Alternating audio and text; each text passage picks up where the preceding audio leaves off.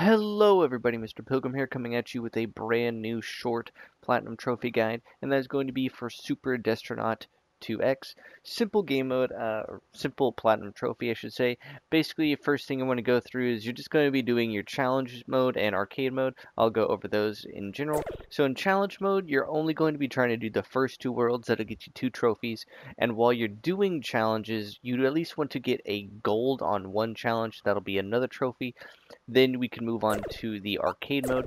So in classic mode of arcade mode, you have to at least reach, I believe, 120, 130,000 points, and that'll get you like three trophies or so. In time attack, you need at least reach, I believe, 35,000. That'll get you another two trophies. In time rush, I believe you also have to reach another 120,000. Once again, just doing that is going to get you a bunch of these trophies. In bullet mode, you just have to reach 35,000.